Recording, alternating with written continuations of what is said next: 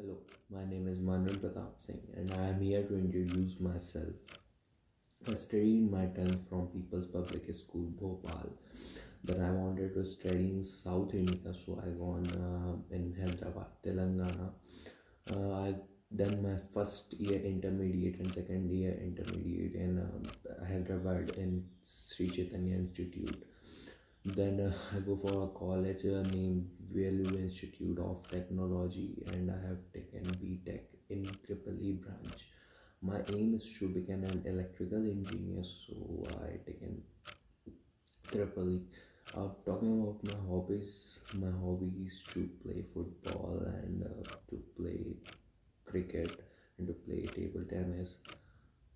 While talking about my achievements, I played state level competition of football held in Bhopal at a school level, and I, my team got first prize in that competition. Uh, talking about my extracurricular activity, I have organized an event at my school level, and I also wanted to organize and volunteer uh, events at my college also. The languages known to me are Hindi, English, Telugu, and Marathi. At last but not the least, I want to thank respected Saroja ma'am to give me uh, an opportunity to introduce myself. Thank you.